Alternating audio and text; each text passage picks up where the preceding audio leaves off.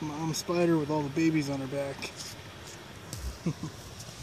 Probably about a big round is a half dollar, maybe four or five centimeters across, inch and a half, two inches.